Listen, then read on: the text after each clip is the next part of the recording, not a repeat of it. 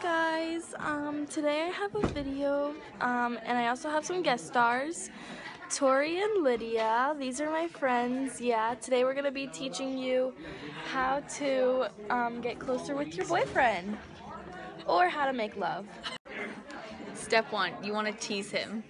Bring about 0.1 millimeters thick. Okay. Unit of sound intensity. Step 2.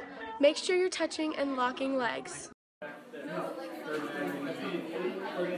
Step 3. Make sure you get some alone time and spend time with your friends. Step four, when you get closer as a couple, you want to give them a little kiss on the cheek and cuddle. Friend.